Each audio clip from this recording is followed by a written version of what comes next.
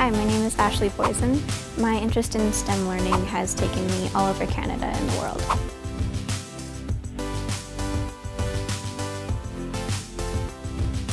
So my sister Lauren, she started our company Robots Are Fun about six years ago and I'm in charge of social media and design for our company. I'm interested in STEM and STEAM because it's great for people from different kinds of backgrounds like art and engineering to come together and make different ideas and products.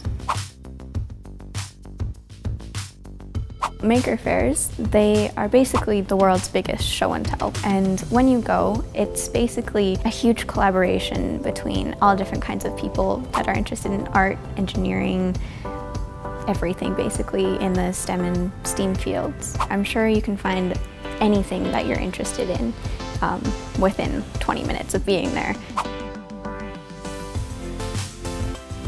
Make Fashion is a collaborative project where people that are interested in engineering and people that are interested in art can come together to form an amazing uh, fashion technology piece.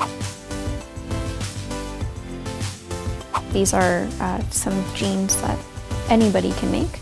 They have some uh, ring lights on the front and two on the back. So this was for my last piece in the Make Fashion show uh, based off of Little Red Riding Hood.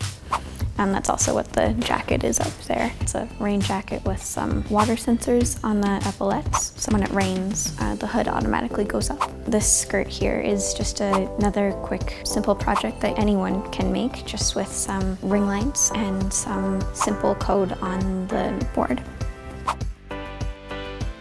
I've just continued to pursue what I love.